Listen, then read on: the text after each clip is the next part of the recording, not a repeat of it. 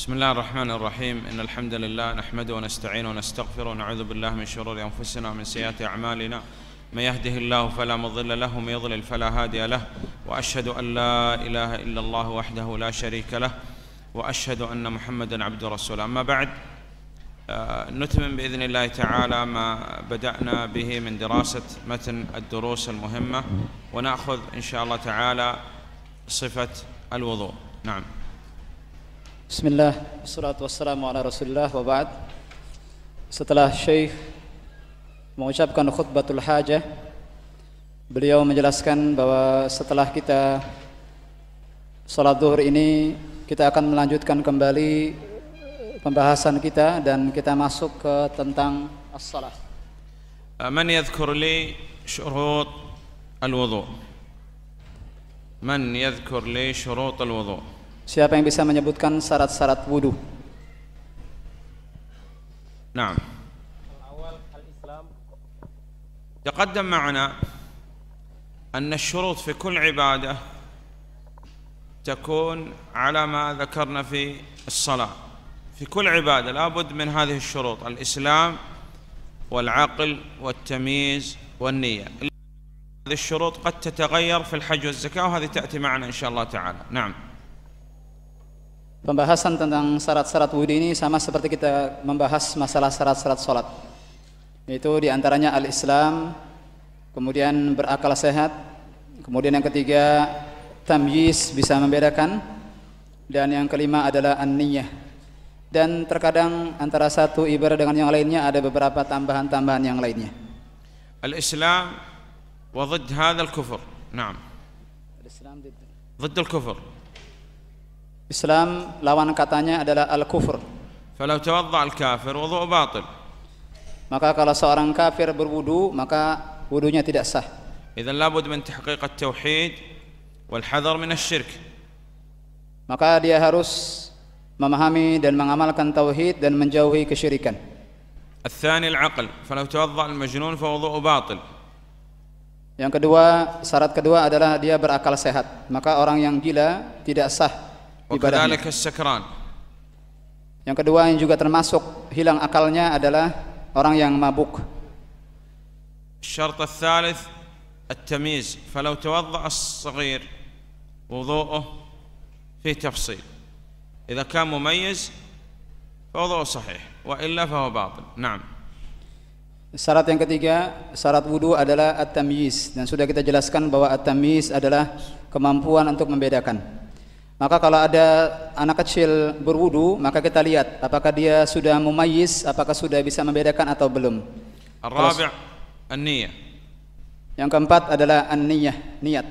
والنية محلها القلب والتلفظ بها بدعة وقد تقدم هذا Dan yang keempat ini adalah niat. Dan niat sudah kita jelaskan tempatnya di hati dan tidak dilafazkan dan dilafazkan hukumnya bid'ah. الشرط الخامس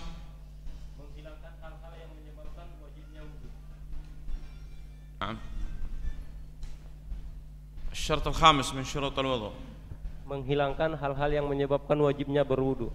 Menghilangkan hal-hal yang menyebabkan wajibnya wudu. استصحاب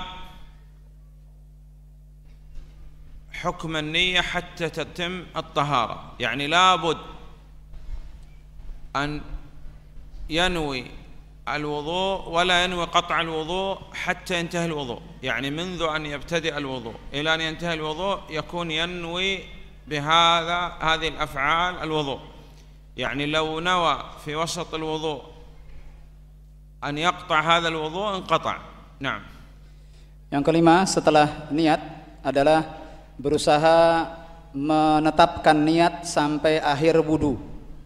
Artinya dia berniat di awal kemudian terus menerus menghadirkan niat ini sampai selesai berwudu.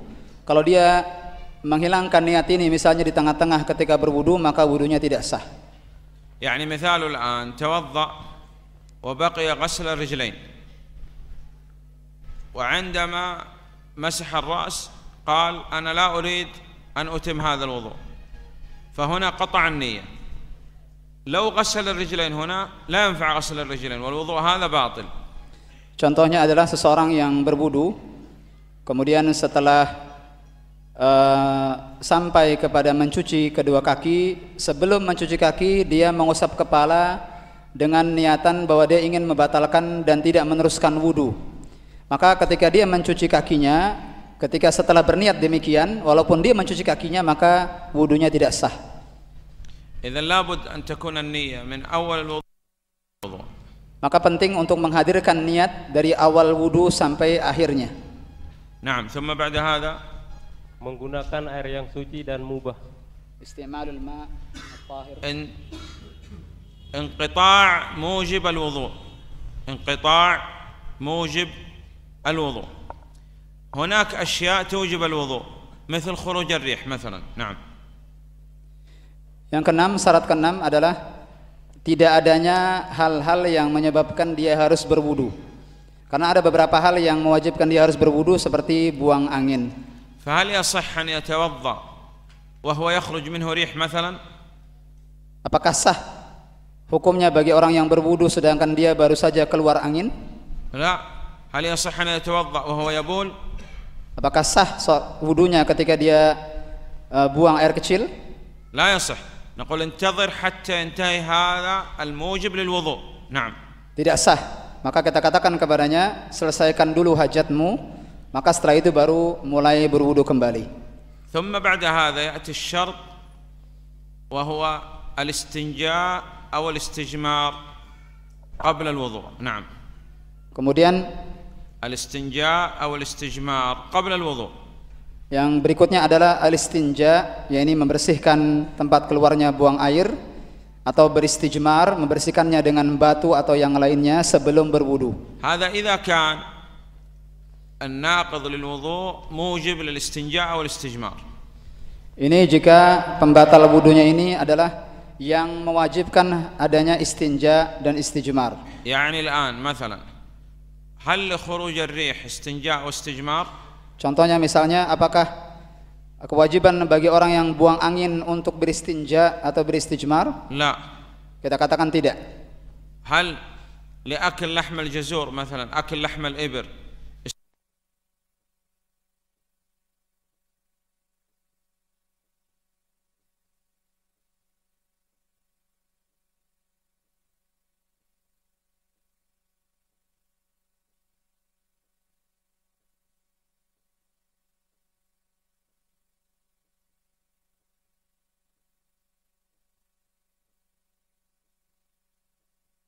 Air adalah hal yang menyebabkan dia harus berwudu. Tapi sebelum berwudu, dia harus terlebih dahulu melakukan istinja, membersihkan kemaluannya, baru kemudian berwudu.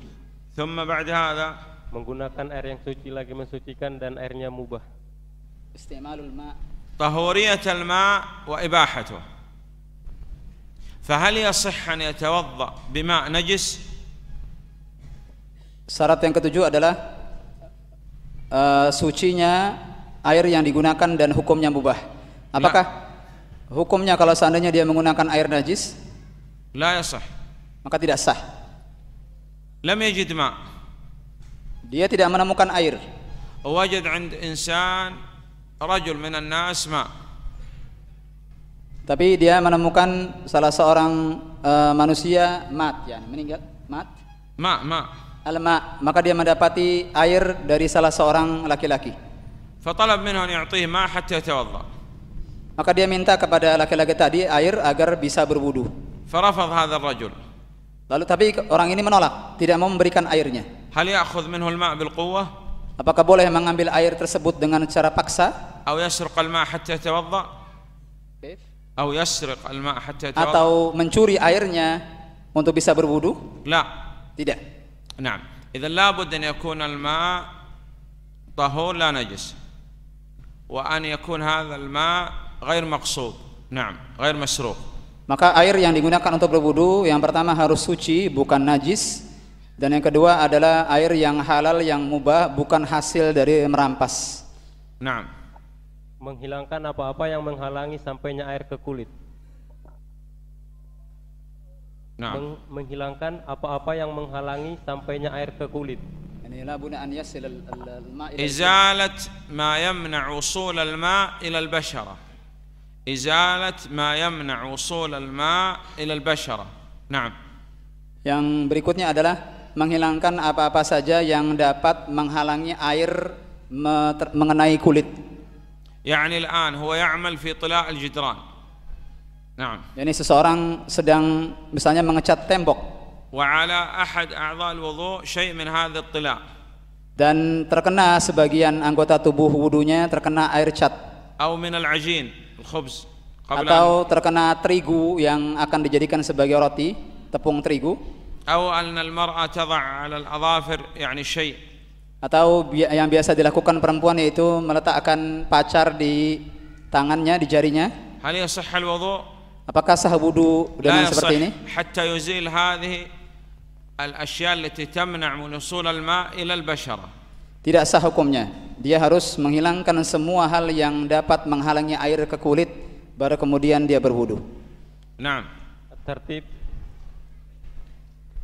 الترتيب في فروض الوضوء ليس في شروط الوضوء غير هذا masuknya waktu sholat bagi orang yang hadasnya terus menerus. نعم Masuknya waktu sholat bagi orang yang hadasnya terus menerus. دخول وقت الصلاة في من حدثه دائم وهذا تأت- تأتي معنا إن شاء الله تعالى نعم انتهى Selesai. من يعيد لي هذه الشروط Siapa yang mengulang lagi syarat-syarat ini? من يعيد لي شروط الوضوء Siapa lagi yang bisa mengulang syarat-syarat wudu? ها يا اخواننا